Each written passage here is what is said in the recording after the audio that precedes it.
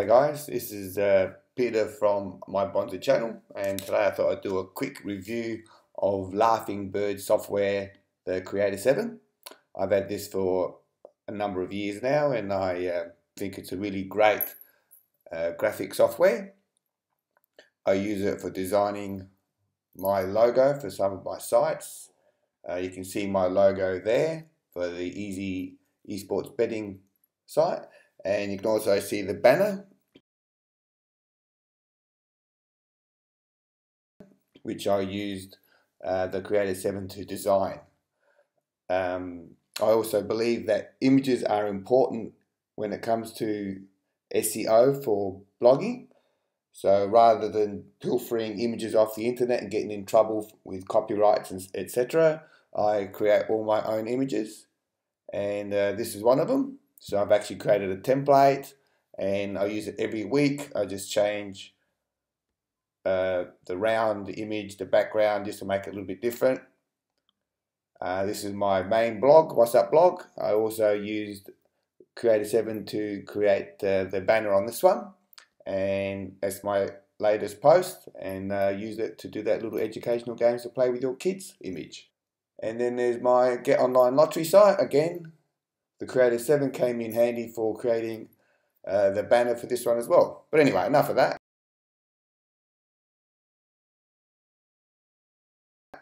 Just so you, you see what the how easy it is, and I think that's the main selling point for the Creator 7 is the ease of use. What you're looking at now is the templates that I've designed using this software.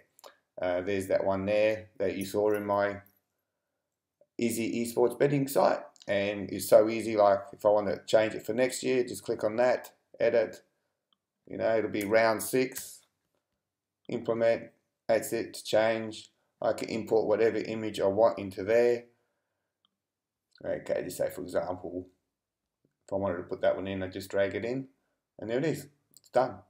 Right just to show some of the other templates and how easy it is to use. Um, my people pack template, which I've also purchased, and say for example, we wanted to adjust this one, we wanted to make a little bit different, we could drag a background image in there.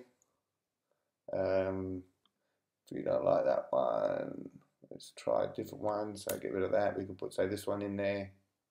This make it bigger. image format is what I want. Okay, we send it to the back. Change the color of the fonts so that they stand out. I reckon yellow might be a good one. Okay, so if you copy that, you can make the rest of the font exactly the same. So paste the code in there, do the same for all your fonts. And finally,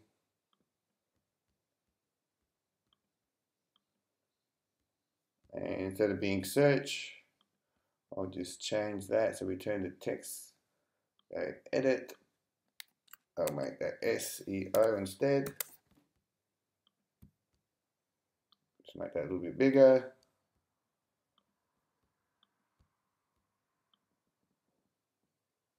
so it stands out.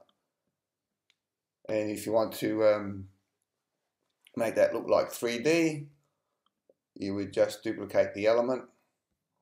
You would change the color, whatever color you want, make it a bit sort of darker. Send it to the back. Then bring the other one forward. can give that one at the back another outline say, so go to outline, turn that on, make it darker. You can even give the front one an outline. Turn that on, make that darker, and as you can see, it just looks that much better. So you do that the rest of your fonts, and uh, you're laughing. So just another example, we'll go to another template.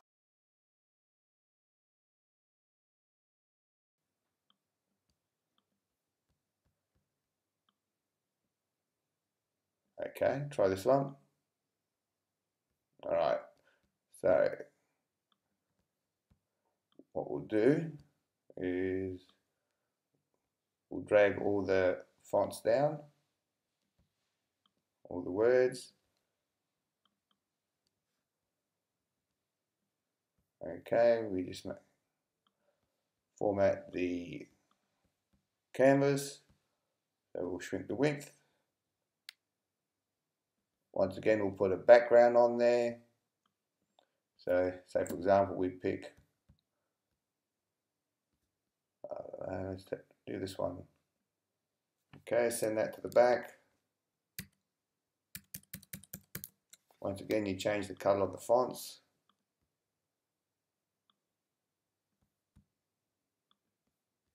And you can use whatever image you want.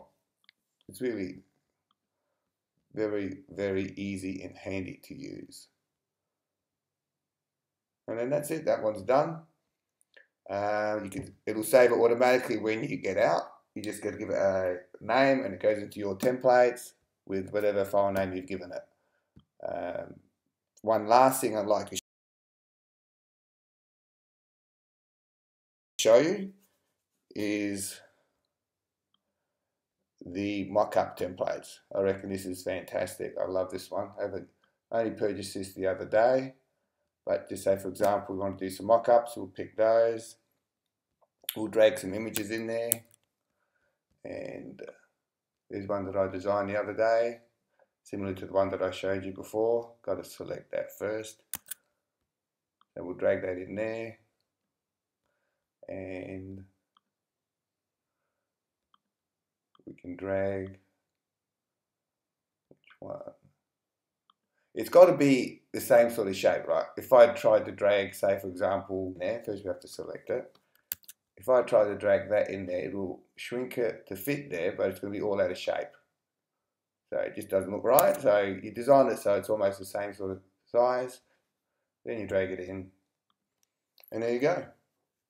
So it's that easy to use. I love the software I have to tell the truth, and I'm an actually affiliate uh, of the Laughingbird.